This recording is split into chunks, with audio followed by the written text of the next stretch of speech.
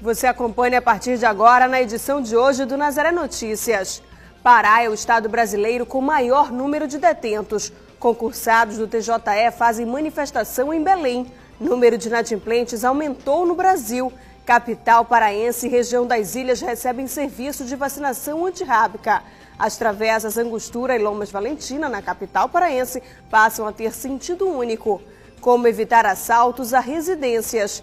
Uma receita natalina para você fazer em casa. E o bate-papo musical com a cantora Jaqueline. Hoje é sexta-feira, 11 de dezembro, e o Nazaré Notícias já está no ar.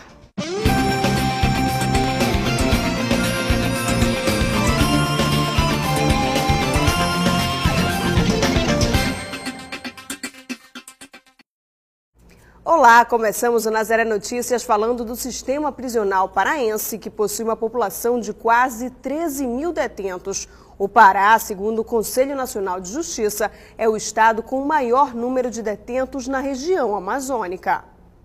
O Pará tem 42 unidades prisionais que abrigam inúmeros detentos. Mato Grosso e Rondônia são os estados que, juntos com o Pará, respondem 56% da população carcerária da Amazônia. Quando se leva em conta a população carcerária existente no Estado, confrontado com a população do Estado como um todo, o Pará ele está em 24 no ranking nacional.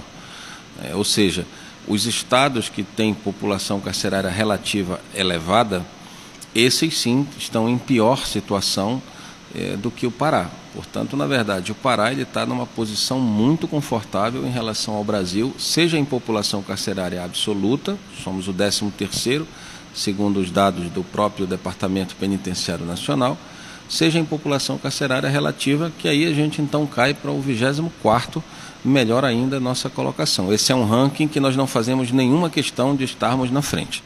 A população carcerária no Pará hoje é composta por 12.902 detentos. A taxa de crescimento foi de 2% em relação aos últimos dois anos, número que é inferior à taxa nacional, que chega a quase 6%. Mesmo em uma colocação nacional baixa, ainda assim a situação da população carcerária no Pará tem um excedente de 60%. Bem, hoje nós temos perto de 13 mil presos, para uma capacidade de custódia de 8.061 vagas, um excedente carcerário ali na ordem de 60%, além da capacidade de projeto. Esse excedente já foi de 100% além, então a gente vem ao longo do tempo reduzindo o volume desse excedente carcerário, mas é preciso trabalhar na redução do fluxo de entrada de novos presos e trabalhar também no aumento do fluxo de saída. É, se, essas três estratégias em conjunto é que dão né, como resultado o, a redução desse problema da superlotação carcerária aqui no estado do Pará. Dos 12.902 detentos, 5.743 estão na condição de provisórios, 4.955 em regime fechado, 1.659 em regime semiaberto, 97 na condição de medida segurança e 448 em monitoramento eletrônico. Para que haja redução desses números, a SUSIP propõe várias estratégias. Nós estamos trabalhando eh, nas três linhas de, de enfrentamento. Estamos trabalhando com a geração de novas vagas. Pará é o estado que proporcionalmente em relação às demais unidades da federação é o que está investindo o maior volume de recursos proporcionalmente à sua população carcerária. E além disso, nós também estamos trabalhando nas duas outras linhas de ação, que é a redução do fluxo de entrada e o aumento do fluxo de saída. Então temos aí um projeto que atua diretamente nessa linha, que é o Conquistando a Liberdade, onde a gente vai até as escolas da rede pública fazer um trabalho de eh, conscientização dos jovens sobre os perigos de envolvimento com a criminalidade. Quando se faz isso, se trabalha na prevenção primária e se contribui na redução do fluxo de entrada. Quando se realiza mutirões em parceria com o Judiciário, com o Ministério Público, com a Defensoria Pública, se trabalha no aumento do fluxo de saída. Por volta de 8 horas de hoje, trabalhadores da construção civil interditaram a Avenida Augusto Montenegro, no sentido Icoraci, entroncamento, no trecho próximo ao cruzamento da Avenida Independência. Os operários reclamam dos salários atrasados e problemas nas condições de trabalho. Com o protesto, o trânsito no local ficou congestionado. Condutores que passaram pelo trecho desviaram por rotas alternativas. E um protesto organizado pela Ordem dos Advogados do Brasil da seção Pará foi realizado na manhã desta quinta-feira. A principal reivindicação é o chamado de servidores aprovados em concurso público do Tribunal de Justiça aqui do estado do Pará. Cerca de 200 pessoas participaram do protesto que aconteceu em frente ao Fórum Cível na capital paraense. A principal reivindicação é a convocação de juízes e servidores aprovados no concurso público promovido pelo Tribunal de Justiça do Estado do Pará em 2014. Se você entrar neste fórum, você vai entrar numa secretaria e perguntar quantos cargos de servidores tem nessa secretaria. Vão dizer cinco, seis, sete, oito. Quantos tem provido por concurso? Um, dois, três. Nós nos acostumamos agora à mediocridade. Ficamos felizes quando tem uma vara que tem um juiz que tem dois, três servidores. Mas é uma vara que não julga. O cidadão hoje não tem acesso à justiça no Pará. Vários problemas foram identificados pela comissão da OAB Pará. Se você for hoje aqui na 13ª vara, civil que julga as causas empresariais, os contratos, as disputas de sociedade, você vai ver o juiz trabalhando doente, com duas mil sentenças para serem proferidas, dois servidores. É esta realidade que, contra a qual nós estamos nos insurgindo, chamando a atenção da sociedade para dizer ao judiciário que ele precisa sair do seu pedestal aceitar a conversar com o AB, com a sociedade sobre a sua gestão. Há uma gestão por trás disso ineficiente, cujo responsável é o presidente do Tribunal de Justiça do Estado. Deputados e sindicatos também estavam apoiando a iniciativa da Ordem dos Advogados do Brasil aqui no Pará. O Sindicato de Assistência Social do Estado do Pará, somado à luta da OAB é, por um judiciário mais justo, mais célere, né, é, é, mais útil à sociedade paraense, né, vem somar nesse processo de luta né, e que a, o, esse ato né, representa a sociedade paraense. É, eu, é, o sindicato, é, na verdade, tem, nesse momento, é, externaliza é, a necessidade de se chamar mais assistentes sociais para comprar o judiciário, porque nós entendemos que os profissionais são profissionais que somam no processo da garantia de justiça social. A OAB aponta um caminho de luta importante. Nós, do Estado do Pará, sabemos a importância que tem o judiciário, o papel que o judiciário joga pela manutenção da cultura de paz. E hoje nós queremos aqui dizer que nós queremos um judiciário melhor, um judiciário mais estruturado. Enquanto representantes do Poder Legislativo, nós estamos aqui dizendo, olha, a justiça precisa ser ofertada para quem precisa efetivamente. O protesto aconteceu no dia da Declaração Universal dos Direitos Humanos e ocorreu em Belém e em outras 24 comarcas presentes no interior do Pará. A OAB Pará já realizou algumas ações para solucionar os problemas identificados no Tribunal Tribunal de Justiça do Estado. Nós estamos no Conselho Nacional de Justiça para garantir que o tribunal seja obrigado a convocar os juízes e os servidores já concursados a, e comprometa sua, o seu custo, o seu gasto com o pessoal um pouco mais de 3,5%, eleve para 5%.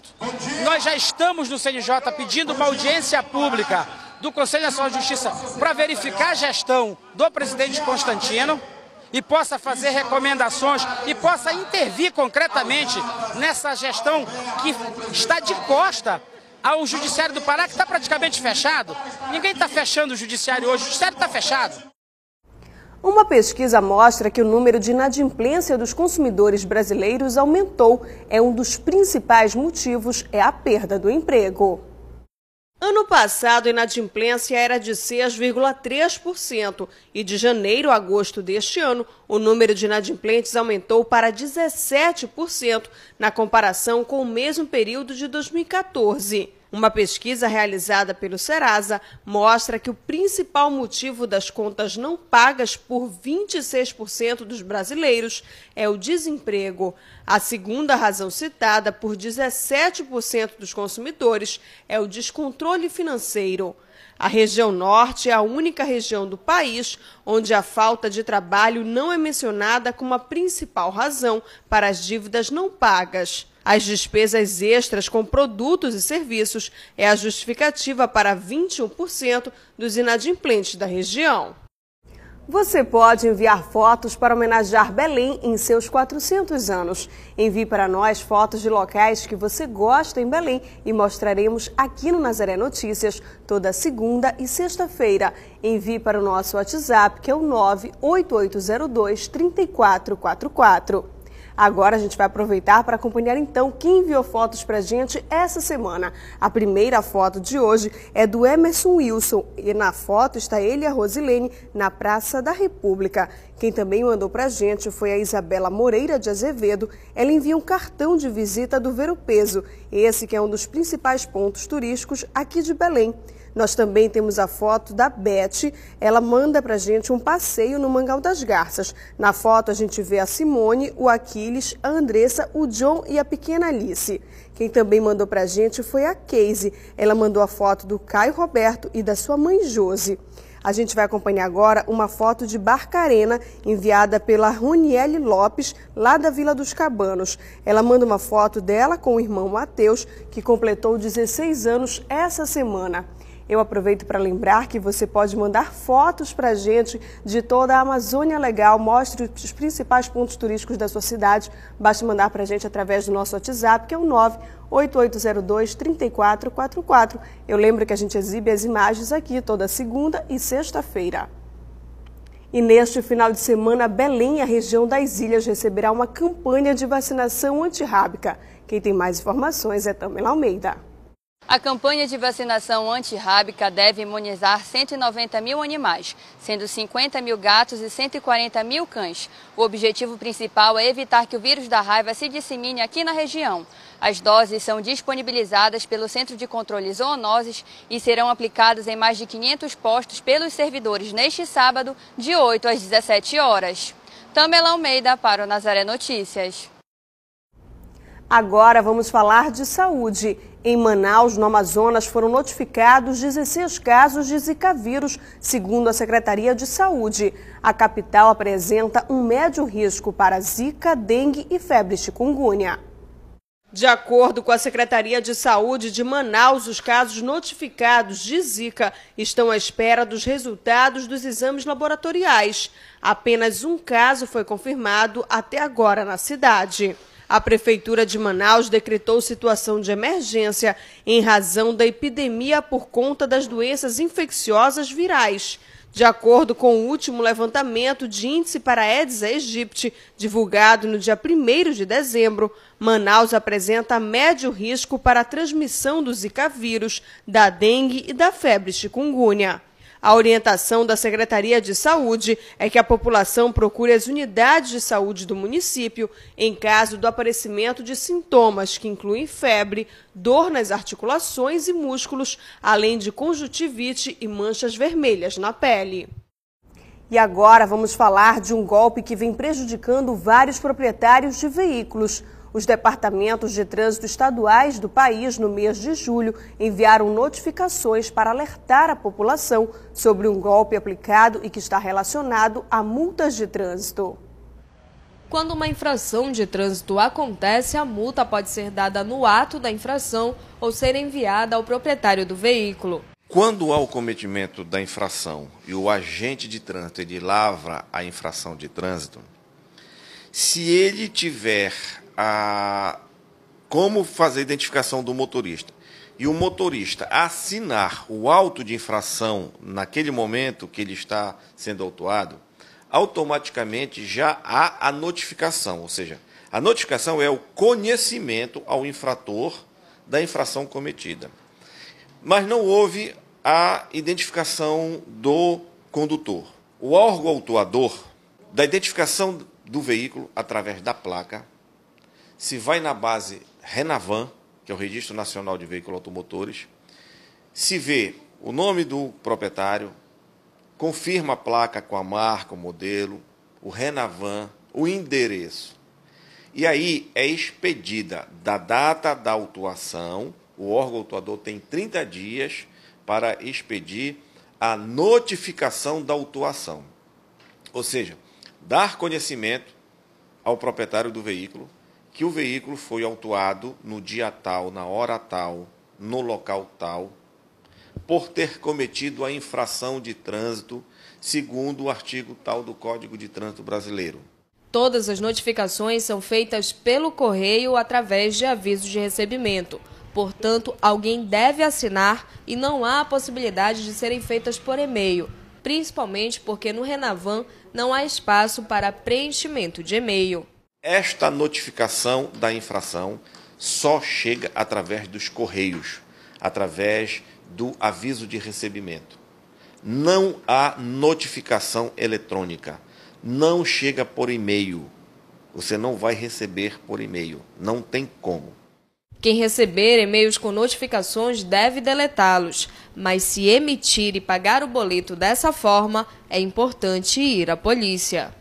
É, ele vai numa delegacia de polícia a, e através da delegacia de crimes virtuais vai ser feita toda uma investigação e vai conseguir chegar quem são os autores ou autor desse golpe que está sendo aplicado. Mas a gente ratifica para que a população não dê importância a e-mail que chega falando de infração de trânsito. Caso o condutor tenha dúvidas com relação às notificações recebidas, basta entrar no site do Detran, que é www.detran.pa.gov.br e com a placa do veículo e o Renavan obter todas as informações necessárias. Nós temos no nosso site, nos serviços online, a opção de gerar o boleto da infração. Como nós também temos aqui é, no nosso site, nos serviços online, as informações sobre as notificações de penalidade, as notificações de infrações, a consulta de infração detalhada desse veículo, porque tudo aquilo que chega na base é, local do Detran, seja por agentes do Detran ou por outros órgãos autuadores, vai estar tudo especificado aqui. Onde foi a infração, qual foi a data, qual foi a hora, qual foi a natureza dela, quantos pontos, qual é o valor que ele tem que pagar. Então, é uma recomendação. Não gere nenhum boleto que chega no seu e-mail, porque órgão de trânsito nenhum, na base do Registro Nacional de Veículos Automotores, Renavan, tem o campo de e-mail para que você seja informado e muito menos notificado de qualquer situação. E você acompanha ainda nesta edição como evitar assaltos em residências, uma receita natalina para você fazer em casa e o bate-papo musical com a cantora Jaqueline. Voltamos com Nazaré Notícias falando de um assunto que causa preocupação. Nesta semana, um assalto do tipo saidinha de banco culminou com a morte da jovem Natasha e muitos desses crimes são feitos em residências.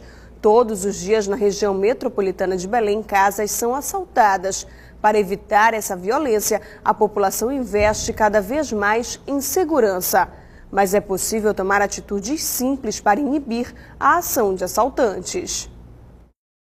Cadeados, correntes, grades, cercas elétricas, cães. Cada vez mais as pessoas investem na segurança do lar por medo de assaltos, uma prática comum na região metropolitana de Belém. Infelizmente é bastante comum não só na, na região metropolitana, como no interior.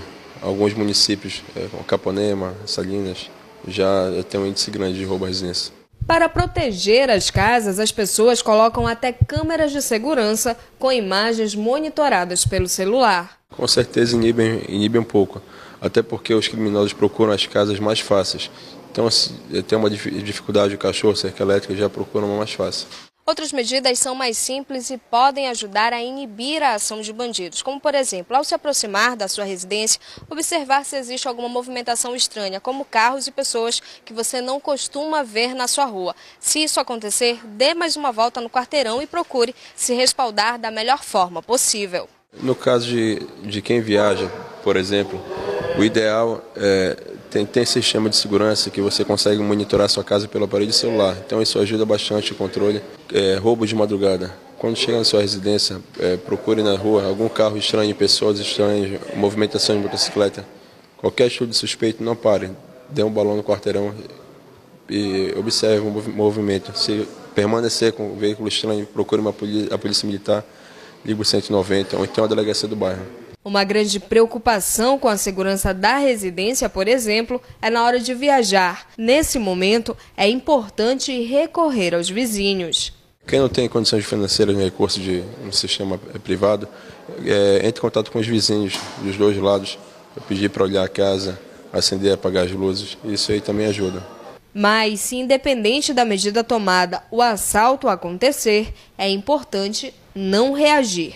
Até porque, é, em muitos dos casos, os criminosos estão drogados e qualquer movimento bruxo pode ocasionar é, a lesão ou morte da vítima. Agora vamos falar do turismo no Pará. A gastronomia paraense é um dos motivos que faz com que Belém se destaque entre as melhores opções de viagem para o ano de 2016. De acordo com uma pesquisa do Ministério do Turismo, a capital paraense é o terceiro destino turístico mais desejado para o próximo ano. Somente este ano, o Pará recebeu mais de um milhão de turistas de fora do estado, gerando um lucro de 746 milhões de reais. Segundo a Secretaria de Turismo do Estado, em outubro deste ano, o Pará recebeu mais de 80 mil turistas, que movimentou cerca de 30 milhões na economia local neste período. A maioria dos turistas vieram dos estados de São Paulo, que somam 16,7% dos visitantes, Maranhão com 15,8% e o estado do Rio de Janeiro com 14%. Segundo os turistas, a gastronomia, a hospitalidade e os pontos turísticos foram apontados como principais pontos positivos da cidade, além da religiosidade, da cultura e do lazer. Após enfrentar um clima bastante seco em novembro passado, a população belemense viveu um tempo chuvoso neste mês. Entretanto, o Instituto Nacional de Meteorologia afirma que ainda não há previsão para o início do período de chuva nesta região, além do Nordeste e do Oeste paraense. De acordo com o IMET Pará, as chuvas que os belemenses presenciaram nos últimos dias é resultado da umidade do oceano que entrou na região, o que favorece essas pancadas de chuva. Desde o último dia 3, já foram registrados 70,4 milímetros de chuva. E vamos acompanhar agora a previsão do tempo para este final de semana na Amazônia.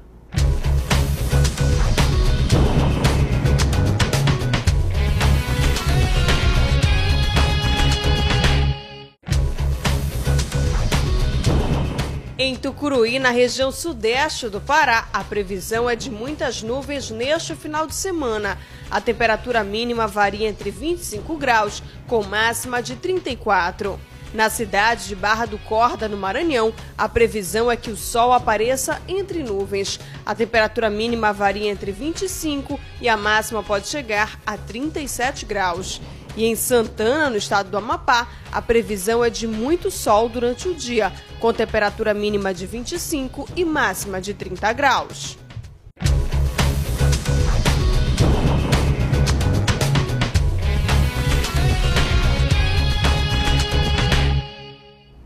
Agora o assunto é o trânsito da capital paraense. Depois de meses em obras, já está concluída a nova sinalização da travessa Angostura e a Lomas Valentina. As vias passam a ter agora um sentido único.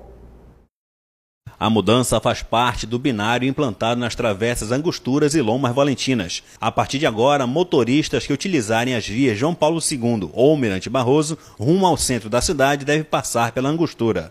Com a mudança, linhas de ônibus como Cidade Nova, Unama, Alcino Cacela, Pedreira Lomas, Sacramento, Maitá e Pedreira, Nazaré, que antes trafegavam na Lomas Valentino, passará a seguir pela Angostura.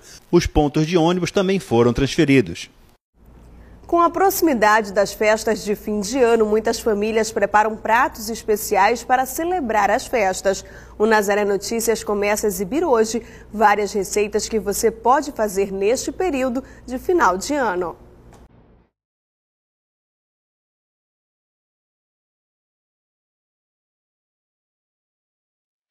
A receita de hoje é uma salada de frango defumado.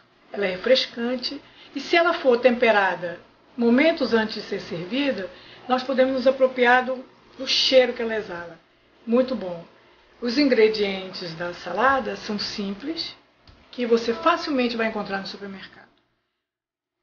Entre 15 e 20 pessoas você vai poder servir com tranquilidade, dependendo do tamanho da, ma da, da maçã, que é a base desse prato. Então, nós utilizaremos oito maçãs, uma lata de creme de leite, maionese, uma lata de milho, passas e uma lata de abacaxi em calda.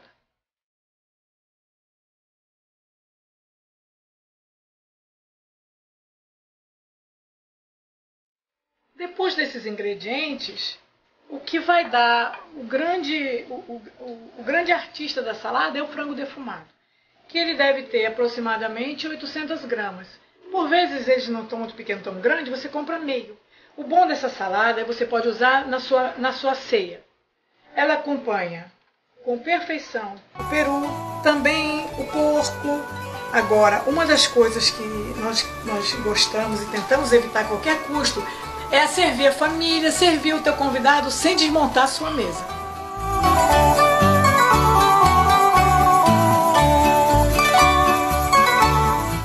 Assim como o modo de preparo, nós vamos pegar as maçãs já cortadas, o abacaxi e misturar com simplicidade os dois ingredientes. Nesse momento, já podemos entrar com o milho. O milho, a questão, se você tem preocupação, ele perde completamente a característica de ser o milho. Então você pode pôr menos um pouco, porque a presença do milho é para que a receita fique com essa variação de cores. E ela, o efeito final dela é muito bom. Vamos pegar o frango já desfiado, devidamente trabalhado, este frango defumado, ele tem é, alguns cuidados básicos que nós devemos respeitar. Quando você pega, ele tem a pele, nós precisamos tirar toda a pele com cuidado, retira totalmente a pele e com uma faca de, de lâmina e muito delicadamente você vai raspando porque ele tem uma, uma gordura que envolve. Essa gordura ela não é uma coisa que vá dar um tempero ou um paladar diferente, muito pelo contrário. A aparência da salada, por ela ser fria, se compromete, porque ela, ela, não, ela não vai dar tanto brilho. E a, se ela não brilhar, provavelmente nós esquecemos de tirar ao máximo a gordura do frango.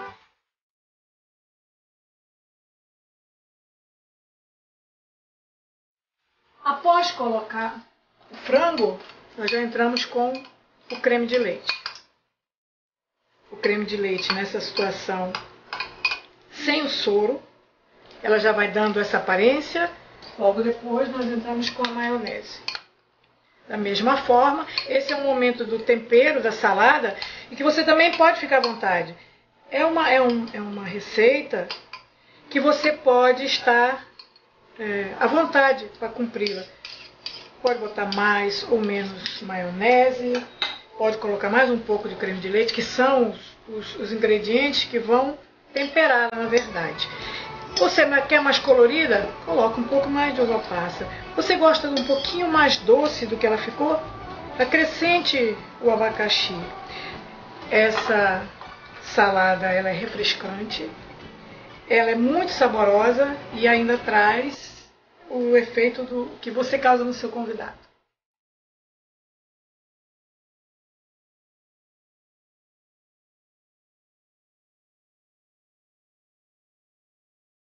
As minhas sugestões da forma que pode ser servida essa salada.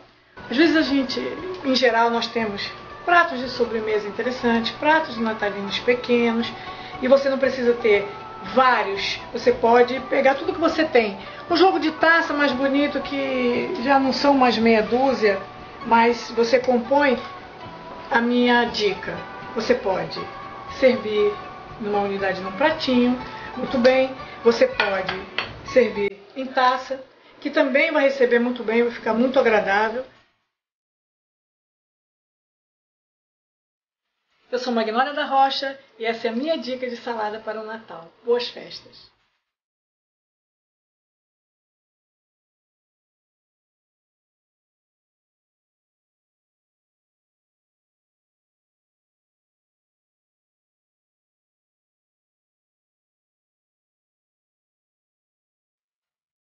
E para quem quer uma opção de lazer, acompanhe agora as dicas culturais para este final de semana aqui no Nazaré Notícias.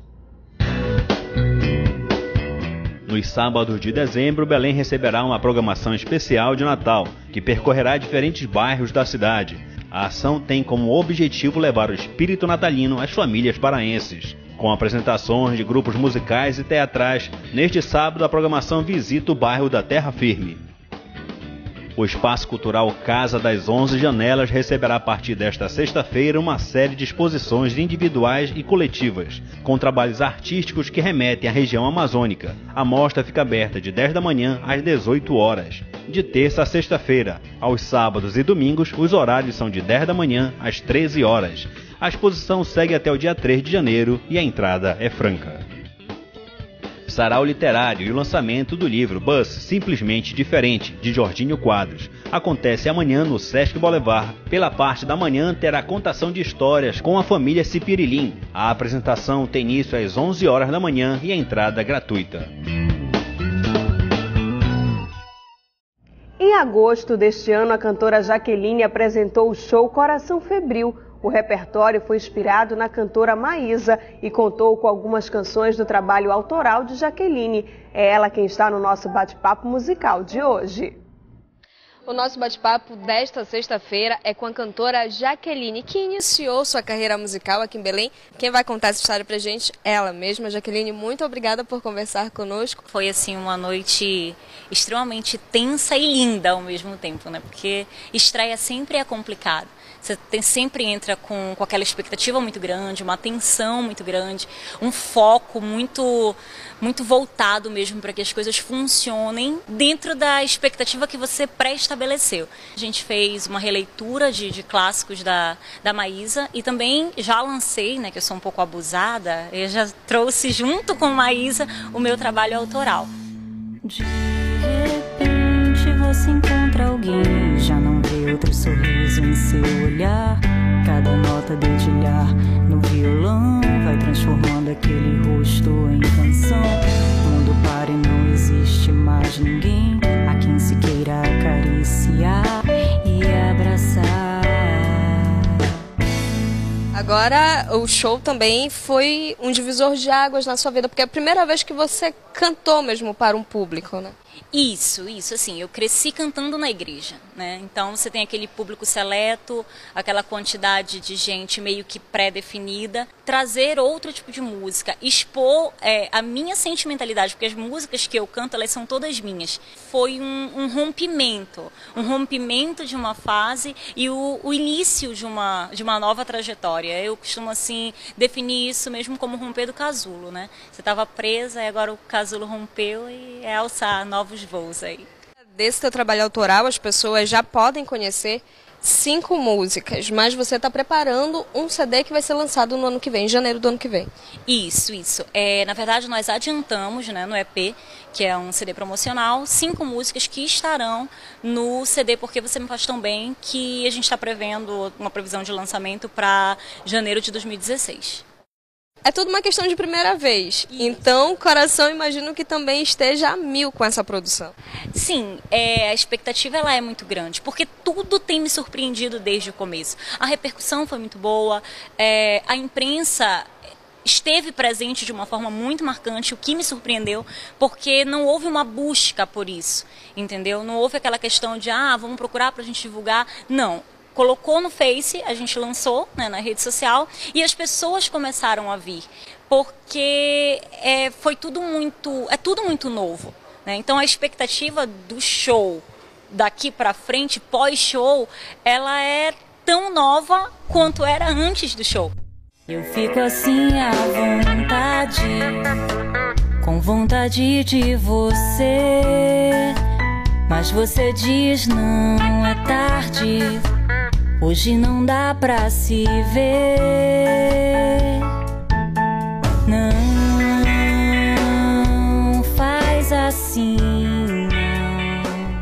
não sabe o que vai acontecer daqui para frente, a gente também não, mas a gente deseja boa sorte, muito sucesso nessa nova fase da sua vida, viu? Muito obrigada. Muito obrigada, eu que agradeço, carinho, a atenção, a presença, né? Porque a gente pôde também fazer uma divulgação do trabalho, do show, antes do show acontecer na Rádio Nazaré. E assim, é, é a primeira entrevista aqui em Belém, né? É, numa rede de TV. Uh, foi a primeira entrevista no rádio, então a gente só tem mesmo, só tem a agradecer é, em meu nome, em nome das pessoas que trabalharam comigo, pelas portas assim que foram abertas e aguardar que após essa muitas outras aconteçam. É, a gente quer acompanhar mesmo essa evolução. Muito obrigada, Jaqueline. E se você é de casa, assim como eu, gostou desse bate-papo, também das matérias exibidas aqui hoje no Nazaré Notícias, pode acessar o nosso site que é www.fundaçãonazaré.com com.br ou então a nossa página no Facebook. O Nazaré Notícias fica por aqui. Tenham todos um excelente final de semana e até segunda-feira.